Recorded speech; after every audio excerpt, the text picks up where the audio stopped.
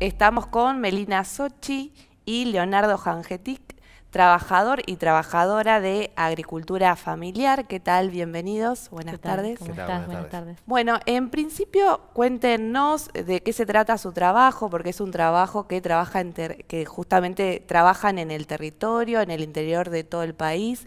Cuéntenos un poco qué es lo que hace qué es lo que hace cada uno y cuáles son las tareas que realizan junto con otros compañeros, porque este trabajo tiene la particularidad de que es interdisciplinario, ¿no es cierto? Sí que es interdisciplinario, que es territorial. Eh, la Subsecretaría de Agricultura Familiar es eh, un organismo que depende del Ministerio de Agroindustria de la Nación, pero es el que tiene justamente el trabajo territorial tiene una delegación en cada provincia y esa delegación está compuesta por compañeros y compañeras que no están ubicados en las capitales más que nada, sino en el interior del interior, porque nuestro trabajo, eh, que es interdisciplinario, por ejemplo, Leo es agrónomo, yo soy trabajadora social, el grueso de los trabajadores somos técnicos de terreno y trabajamos en territorio, en desarrollo integral con las comunidades rurales, con lo que es agricultura familiar, campesina e indígena. ¿No? de cada lugar. ¿Y cuál es el trabajo específico que hacen en, los territorios? ¿Es de capacitación, de acompañamiento, de asesoramiento? Todo eso. Sí, claro, porque en realidad nosotros decimos que somos la única política pública que llega a todos los rincones del territorio. Y en realidad lo que nuestro trabajo está enfocado a lo que llamamos el desarrollo rural, que va desde elaborar las cuestiones productivas, eh, ya sea asesoramiento, acompañamiento técnico, algunas mejoras en, algunas cuestiones de innovación tecnológica, si se quiere por poner un nombre, eh, y después hay acompañamiento a la comercialización, hay mejora en, lo que son las obras de agua que existen en las comunidades rurales. Infraestructura, de lo que sea. Inclusive infraestructura de, riego, eh, tratamos de, acompañar y mejorar lo que se pueda en los canales de riego. Em, trabajamos, nosotros decimos, qué sé yo, desde acompañar a un agente sanitario hasta lo que puede llegar a ser gestionar para que se arregle un camino rural. Digamos, laburamos, estamos involucrados con la vida de las comunidades rurales y desde ahí absorbemos todo lo que son las demandas de, eso, de esos productores, productoras, familias, campesinas.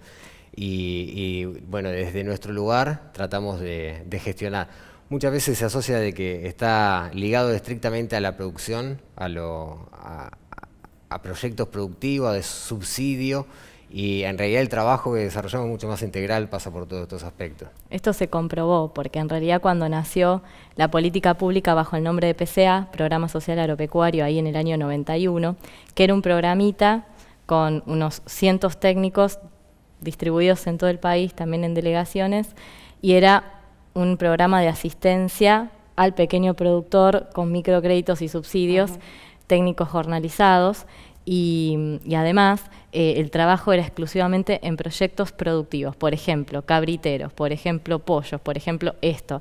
Se vio con el devenir de los años de que eso no resolvía las necesidades de la real producción eh, la necesidad de las economías regionales de ese lugar eh, y de lo que es el arraigo de las familias en territorio, que es lo que está siempre por debajo de todo esto, ¿no? Porque qué es lo que a vos hace, en muchos casos a las familias, de que uno pueda quedarse en su lugar o irse. Muchas veces es poder hacer lo que uno le gusta, lo que uno puede hacer y lo que te arraiga a tu territorio. Entonces eso, con el tiempo, eh, se fue convirtiendo en ampliar el enfoque de trabajo que es el que adoptó el PCA todavía en su momento, que por el año 2007, 2005, por ahí, que es el enfoque socioterritorial. El enfoque de desarrollo socioterritorial no es algo propio del PCA, es un enfoque que tiene que ver con un enfoque metodológico en desarrollo rural. Por eso es interdisciplinario. Por eso es interdisciplinario, por eso es integral.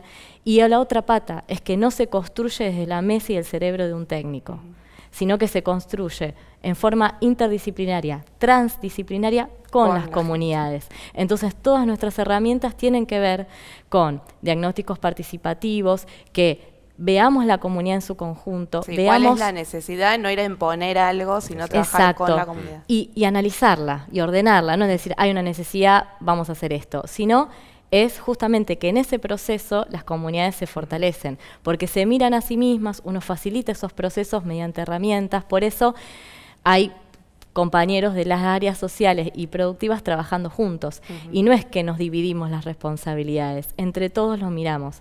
Hay mucho trabajo a, través de los años de especialización para trabajar con el sector, porque no es lo mismo trabajar con una comunidad de altura que trabajar con, alguien del Alto Valle, y, además no es lo mismo trabajar con comunidades campesinas, con comunidades de pequeños productores, incluso con comunidades de pueblos originarios, que trabajar con un empresario del campo, digamos. Son perfiles distintos y por eso las líneas de trabajo, además de lo que te dijo Leo, tiene que ver con muchísimas líneas de trabajo que son, las pensamos entre muchos eh, y muchas veces hasta incluso eh, nosotros hemos eh, trabajado con comunidades proyectos de hábitat rural, hemos trabajado mejoras de infraestructura no solo de agua en otros aspectos y también hemos acompañado y seguimos acompañando conflictos de tierra y tenemos ese área.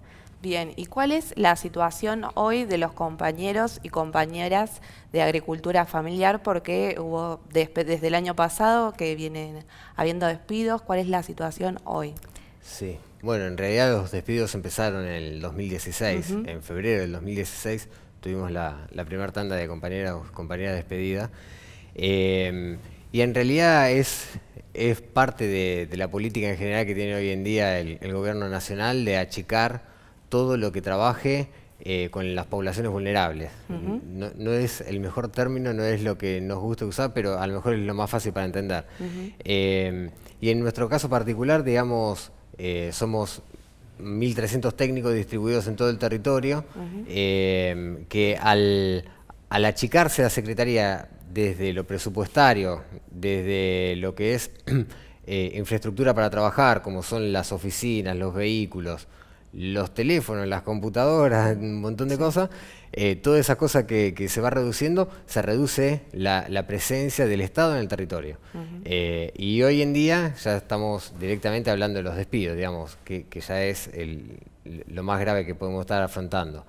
Y en realidad, bueno, ese, ese retirarse del Estado en el territorio lo que hace es dejar abierta la puerta a un montón de negociados que hay en, en torno a la tierra y también eh, desnuda de que no hay una, una, desde ya que no hay una voluntad de, discutir la soberanía alimentaria, pero ni siquiera eh, se, se, vislumbra la importancia que tienen los agricultores familiares en el territorio, ya sea conservando el territorio, poblando el territorio. Todo, todas esas cosas de alguna manera están sostenidas por, por el trabajo que hacemos desde la Secretaría de Agricultura Familiar que además la agricultura familiar tiene la particularidad de que el 100% de sus trabajadores están en una situación precarizada de trabajo, ¿esto es así? Sí, bueno, nosotros además de ser trabajadores somos delegados de la Mesa Nacional de ATE y por el sector. Y hay una lucha de muchos años que emprendieron otros compañeros, algunos ya no están, que fue por la planta permanente, porque cuando empieza el, eh, el el, organismo bajo el nombre de programa, Programa Social Agropecuario, que dependía de lo que en ese momento era la Secretaría de Agricultura, Ganadería y Pesca, y dependía de otro ministerio que era Economía, eh, empezó bajo la forma de monotributo. Y no, ni siquiera mensualizados, sino jornalizados, dependían del proyecto que formulaban.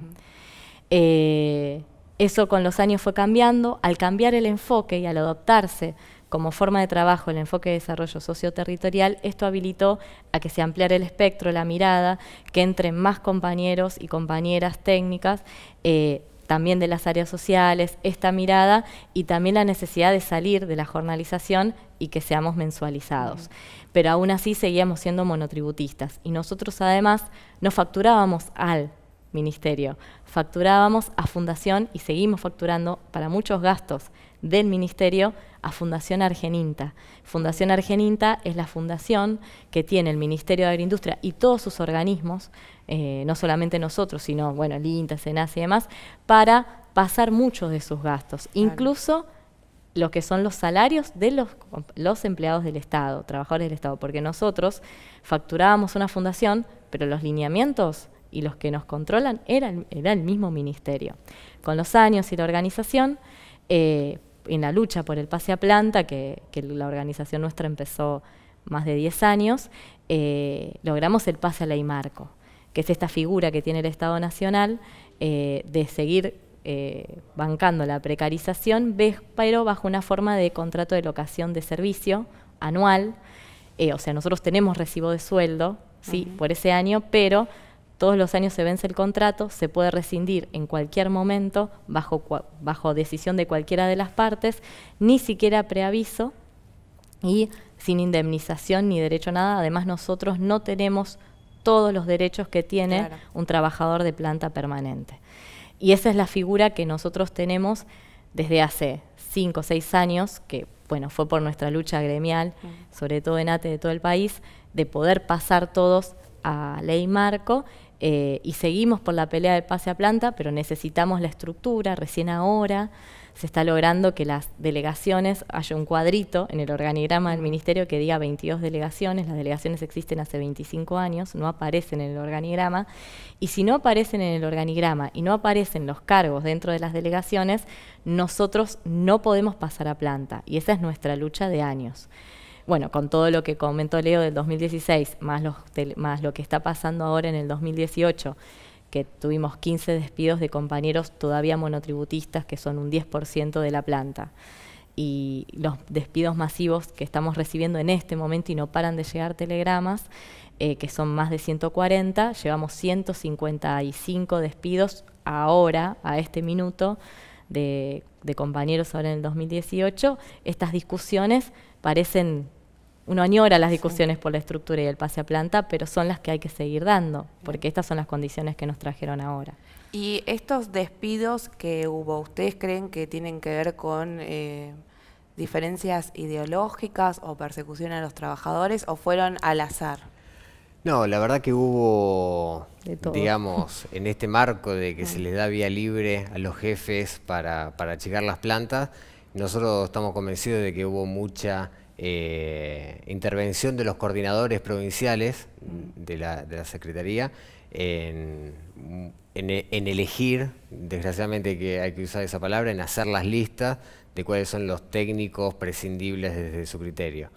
Eh, sí, digamos, hubo un visto bueno desde el Ministerio, desde el Ministro, desde la estructura, y los coordinadores aprovecharon para, para vaciar de trabajadores muchas delegaciones. Hay delegaciones que hay cerca de 60 compañeros y recibieron el telegrama 15.